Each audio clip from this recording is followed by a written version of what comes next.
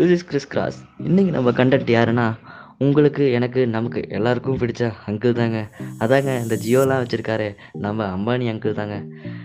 நம்ம எல்லாரும் அவர் பேர்ன் வித் சில்வர் ஸ்பூன்னு நினச்சிட்டு இருக்கோம். ஆனால் அவர் அப்படி இல்லைங்க. பேர்ன் வித் கோல்டு ஸ்பூனுங்க இவரோட ஃபுல் நேம் என்னென்னா முகேஷ் திருபாய் அம்பானி. அதில் துபாயின்னு இருக்கு. அவரை பற்றிலாம் நம்மள எத்தனை பேர்த்துக்கு தெரியும்னு தெரியல. அவர் தாங்க இந்த மி மிகப்பெரிய ராஜ்யத்தையே கட்டி வளர்த்தவர். மிஸ் அதில் மிஸ்டர் திருபாய் அம்பானி அவர் தாங்க நம்ம அங்கிளுடைய ஃபாதர் இவர் ஸ்கூலிங் எங்கே படித்தார்னா மும்பையில் ரேஞ்ச் ஹை ஸ்கூல் அப்படிங்கிற ஸ்கூலில் படித்தார் அதுக்கடுத்து ஹையர் ஸ்டடீஸு அதே மும்பையில் இன்ஸ்டியூட் ஆஃப் கெமிக்கல் டெக்னாலஜிங்கிற ஒரு காலேஜில் கெமிக்கல் இன்ஜினியரிங் முடித்தார் அதுக்கப்புறம் கலிஃபோர்னியாவில் டாப் டென் யூனிவர்சிட்டியாக இருக்க ஸ்டான்ஃபோர்ட் யூனிவர்சிட்டியில் அவர் எம்பிஏ ஃபினிஷ் பண்ணாருங்க. நைன்டீன் எயிட்டி ஒன்லேயே ரிலையன்ஸ் இண்டஸ்ட்ரியில் அவங்க அப்பாவுக்கு கூட ஹெல்ப் பண்ண ஸ்டார்ட் பண்ணிட்டார். அப்போ ஒரு ஏஜ் வந்து வெறும் டுவெண்ட்டி ஃபோர் தான். நமக்கு வேணால் டுவெண்ட்டி ஃபோர் ஏஜில் ஒர்க் போக கரெக்டாக இருக்கும். பட் அவரை மாதிரி ரிச் காய்ஸ்லாம் டுவெண்ட்டி ஃபோர் ஏஜ்லேயே ஒர்க் போகணும்னு என்ன அவசியம்? ஆனால் அவர் போயிருக்காரு. எல்லாம் அந்த ஏஜில் ஜாலியாக பப் பப்பு ரெஸ்டாரண்ட்டு இந்த மாதிரி சுத்த தான் பிடிக்கும். ஆனால் அவர் அப்போவே ஒர்க் பண்ண ஸ்டார்ட் பண்ணிட்டார். அது வந்து அவங்க அப்பாவுக்கு ஒரு ஷாக்கிங்காக இருந்தது. ஏன்னா நம்ம பையன் நம்ம கம்பெனியில் வந்து ஒர்க் பண்ணுறான் அப்படிங்கிற மாதிரி ஒரு ஷாக்கிங்காக இருந்தது. அண்ட் அவர் ஒன்றும் சும்மா பெஞ்சு தேய்க்கலாம் போகல கம்பெனிக்கு அவர் எல்லோரு மாதிரியும் ஒரு ஒரு நான் ஒரு எயிட் ஹார்ஸ் டெய்லியும் எயிட் ஹார்ஸ் நார்மலாக எப்படியும் ஒர்க் பண்ணுவோம். அந்த மாதிரி நார்மலாக போய் அவர் ரிலையன்ஸ் இண்டஸ்ட்ரியில் போய் ஒர்க் பண்ணார்.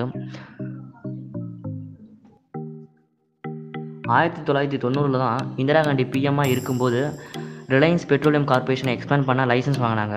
அப்போ தான் குளோபலேஷன் டெக்னிக்கை இந்தியாவில் அப்ளை பண்ணி ஸ்டார்ட் பண்ணாங்க. ஸோ இவர் நிறைய ஃபாரின் இன்வெஸ்ட்மெண்ட் கிடைச்சிது. வித் தட் ஆல்சோ இவரோட ஐடியாவில் ரிலையன்ஸை ஸ்டாக் மார்க்கெட் லிஸ்ட்டில் கொண்டு வந்தாங்க. அதே இயரில் தான் இவங்க ஃபேமிலி இந்தியாஸ் ரிச்சஸ்ட் ஃபேமிலியாக மாறுச்சு. அப்புறம் டூ தௌசண்ட்லேருந்து டூ தௌசண்ட் ஃபோர்டீன் வரைக்கும் இவங்க எந்த ஒரு நியூ பிஸ்னஸையும் ஸ்டார்ட் பண்ணல. அண்டு ஜியோ தான் இவங்களுடைய பிக்கஸ்ட் ப்ராஜெக்டாகவும் இருக்கும் அப்படின்னு சொல்லிட்டு அவர் ஜியோ லான்ச்சில் சொன்னார். இந்த டோட்டலாக twenty two telecom circle overall இந்தியாவில் வச்சுருக்காங்க. அண்டு ஒன்லி ஃபோர் ஜி மட்டும்தான் ஆஃபர் பண்ணுறாங்க ஸ்டார்ட் பண்ணி இவ்வளோ வருஷம் ஆகியும் இவங்க பிளான் சிம்பிளாக தான் இருக்குது low cost high speed more market share இதுதான் இவங்களுடைய ஸ்ட்ராட்டஜியை இப்போ வரைக்கும் ஃபாலோ பண்ணிகிட்டு நம்மள நிறைய பேர் ப்ராஃபிட் வந்து ஆக்சுவலி இன்கம்னு தாங்க நினச்சிட்ருக்கோம் பட் அப்படி இல்லைங்க. ஒரு கம்பெனி சக்ஸஸாக இல்லையா? ஆனால் அதோடைய மார்க்கெட் ஷேரை வச்சு தான் டிசைட் பண்ணுறாங்க ஃபார் எக்ஸாம்பிள் நம்ம ஷிக் சிக் ஷாம்பு எடுத்துக்குவோம். அதில் ஆக்சுவலி ஒன் ருபிக்கு தான் ஷாம்பு கொடுக்குறாங்க. அதில் அவ்வளோ ப்ராஃபிட் ஒன்றும் இல்லை. பட் யூசி அவங்க almost seventy five percent plus market share இருக்குது ஸோ இதில் ஸோ இதில் என்ன தெரிஞ்சுக்கிறோம் அப்படின்னா நம்ம எவ்வளோ சீக்கிரம் சம்பாதிக்கிறோன்னு மேட்ரு இல்லைங்க.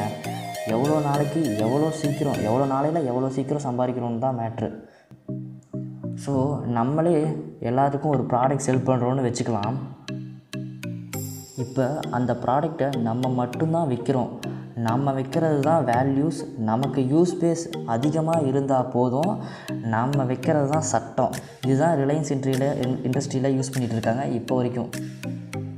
ஸோ இதனால தான் இந்த Mukesh Ambani highly successful business menu சொல்கிறாங்க இவர் தான் இதை ஃபஸ்ட்டு ஃபஸ்ட்டு இம்ப்ளிமெண்ட் பண்ணார். இன்றைக்கி இந்தியா ஸ்ரீலங்கா பாகிஸ்தான் பங்களாதேஷ் மலேசியா இங்கெல்லாம் இவங்கெல்லாம் க்ரூட் ஆயில் டிஸ்ட்ரிபியூட் பண்ணுறாங்க ஸோ இவங்க வச்சது தான் சட்டம். ஸோ அடுத்த வாட்டி அவரை கலாய்க்கும் போது கொஞ்சம் திங்க் பண்ணுவோம். நாம் அவரை கலாய்க்கிற அளவுக்கு பெரிய ஆளா அப்படின்னு. ஓகே காய்ஸ் இவ்வளோ நேரம் கேட்டதுக்கு நன்றி. நெக்ஸ்ட் டைம் இதே மாதிரி ஒரு இன்ட்ரெஸ்டிங்கான கண்டென்ட்டோடு உங்களை மீட் பண்ணலாம். Until next time this is கிறிஸ்டாஸ் சிந்திப்போம் செயல்படுவோம்.